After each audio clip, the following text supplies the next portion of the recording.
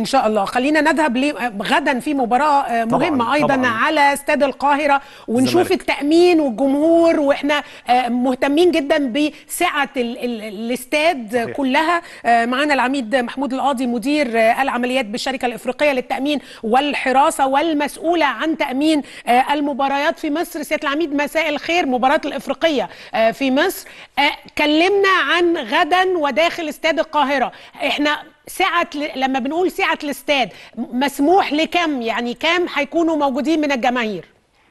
أستاذة رميسة أهلا بحضرتك واهلا بالسادة المشاهدين.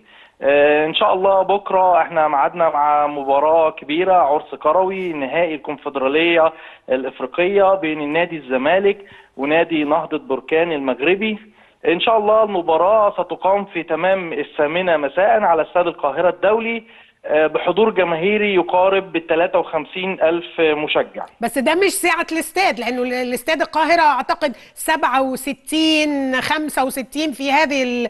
في هذا ال- التقييم تقريبا هو يعني ال ال الأعداد المسموح لها بالحضور دي طبعا طبقا لنتائج الاجتماع الجهات الاختصاص اللي أقروا إن دي الأعداد المسموح ليها 53 بالحضور. قلت لي كام؟ قرابه قرابة ال 53 قرابة ال ألف مشجع. 53 كام للمغرب؟ آه، ده باستثناء مدرج المغرب ولا إيه؟ ولا متضمنا مدرج لا المغرب؟ متضمنا مدرج المغرب. ده طيب. كامل ساعة الحضور يعني. الجماهير المغربية تدخل إزاي وجماهير الزمالك هتدخل إزاي؟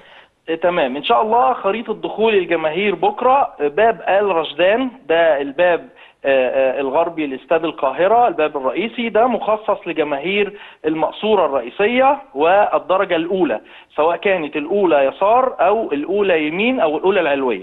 جماهير نهضة بركان هيتواجدوا في مدرج الدرجة الأولى يمين وهيدخلوا من باب آل رشدان. جماهير نادي الزمالك اللي حاجز التذكرة الأولى يسار أو الأولى العلوية أو المقصورة الرئيسية هيدخل برضو من باب الرشدان حضرتك الباب الرشدان ده مخصص لدخول برضو. السيارات اللي هم هيتواجدوا الفي في اي بي أو اللي موجودين في المقصورة الرئيسية من أعضاء مجلس إدارة نادي الزمالك ونهضة بركان والاتحاد الإفريقي وضيوف الحاضرين المباراة ده أه. كده باب الرشدان نعم آه، ننتقل لباب صلاح سالم. الباب المطل على شار... على شارع صلاح سالم هيئة الاستعلامات ودار المدرعات.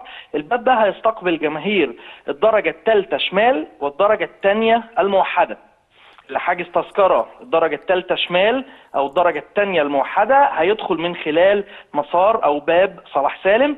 الدرجة الثالثة شمال هيبقى المدرج بتاعه في مواجهة ال- باب صلاح سالم مباشرة. بعد ما هينتهي التفتيش على الباب هيلاقي بوابات ال turnstile في المواجهة مباشرة.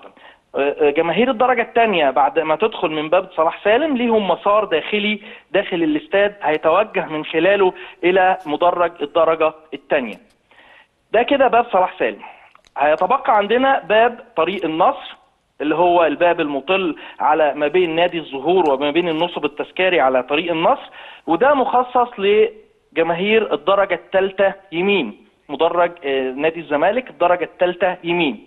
من خلال باب آه، النصر هيتوجه مباشرة إلى المدرج المخصص ليه. هيتبقى عندنا آه، السادة الصحفيين والمصورين وده مخصص ليهم حوالي 250 صحفي من خلال كشوفات معتمدة و100 مصور فوتوغرافي تمام. هيدخلوا من باب الفروسية وده باب مطل على السور الخلفي لنادي الزهور. تمام. طيب ال- التالتة يمين التالتة بقى جماهير التالتة هيدخلوا عارف ليهم الدخلة بتاعتهم والأدوات والشماريخ وكده ما هو المسموح وما هو غير المسموح؟ تمام. بالنسبة للمسموح والغير مسموح طبعا آه، غير مسموح التواجد في محيط الاستاد من غير الفام آي دي والتذكرة المخصصة لدخول المباراة. تمام. آه، بعد كده آه، طبعا الشعلات الحرارية اللي هي الشماريخ ممنوعة تماما تواجدها في محيط الاستاد سواء داخليا أو خارجيا. آه، أقلام الليزر اللي هي بتشوش على اللعيبة في أرض الملعب دي برضو ممنوعة تماما. بالإضافة إلى المعلبات الصلبة اللي هي مثلا الكنز أو لو في عصائر محفوظة في معل... في عبوات زجاجية أو مأكولات محفوظة في عبوات صلبة سواء كانت زجاجية أو معدنية دي برضو غير مسموح بدخولها لأن دي إلقائها على أرض الملعب يسبب الأذى للعيبة أو حتى ممكن سقوطها من يد مشجع تسبب أذى طيب. للمشجعين أه، داخل المدرج. بكرة أنت عارف الدنيا حر نار و... وتذكرتي قالوا إنه الناس الدخول الساعة 2 الظهر فهل أزايز المية البلاستيك آه، المية المعدنية مسموح بيها ولا لأ؟ تمام حضرتك كل المشروبات مسموح بيها طالما محفوظة داخل عبوات بلاستيكية خفيفة. يعني ال- المية البلاستيك المية. المية آه، في مية الزجاج معدنية. البلاستيك. آه. مية معدنية طيب، عادية في وال- زجاجة بلاستيك. كل بس الموضوع إن بيتم نزع الغطا من عليها لا لا ثواني. غطا المية إزاي؟ هنشيله. غطا الازاز الغطا الصغير لأن الإزازة وهي محفوظة بالمية بتاعتها دي تقلها يعني دي تقيلة. لو تم إلقائها من المدرج أيوه ما هو هنخش. في المية هتدلق لو شلنا أنا فاهماك بس هي المية إحنا واخدينها عشان نشربها. هتشيل ال... الكرة هو طبعا هتشيل الغطا. بتاع الإزازة. الإزازة هتدلق هو إحنا وإحنا داخلين وسط الزحمة. الإزازة دي أصلا بتخلص على ما المشجع بيروح المدرج بتكون الإزازة خلصت وطبعا الاستاد فيه طب الكافتريات في مجهزة. مية طيب آه، جوه طبعاً، الاستاد؟ طبعاً، طبعاً، الدنيا طبعاً، حر جميع بكرة يا سيادة العميد أنا قلقانة على الناس. لا حضرتك لا تقلقي. هيئة الاستاد مجهزة الجزء الإداري الخاص بالكافتريات متاح كل ال- المشروبات. آه، وطبعا برضو بيتم نزع الزجاجة أثناء شراها من الكافتيريا. آه لازم دي الإزازة من غير دي التأمين. أول مرة أعرف الموضوع ده. إزازة من غير غطا. لا هو طبعا جماهير الكرة المعتادين حافظين، معلش، أنا ما بروحش. حافظينها. يعني هم حافظين الناس اللي بتيجي معتادين أي حاجة ممكن تكون في إيد المشجع يعني هي تسبب ثقل في إيده آه، إلقائها يسبب أذى دي بتبقى مظبوط. ممنوعه طيب والسؤال تاني ال ال بس لو عصير في الشباب كلهم بيسألوا الأسئلة دي عصير في في كرتون تمام؟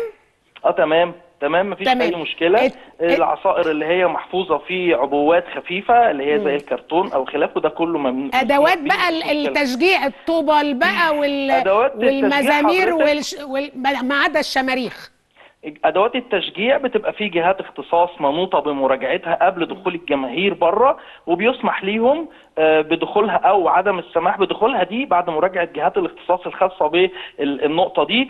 آه، دي دي يعني إن شاء الله ما فيش فيها مشكلة. زي كل مباراة في حاجات مسموح ليها بالدخول بي- بيدخل بيها الجماهير. وده طبعا برضو بنأكد برضو حضرتك اتفضل. على إن ممنوع آه، اللافتات المسيئة. ممنوع أي شعارات أو حاجات دعائية آه، غير خاصة بالمباراة أو إعلام غير إعلام جمهورية مصر العربية ونادي الزمالك. طبعا دي نفس القواعد اللي هتطبق آه، في نهائي آه آه دوري أبطال أفريقيا يوم السبت المقبل. آه آه، طبعا دي هي تعليمات بتبقى ثابتة على جميع حضور المباريات الرسمية.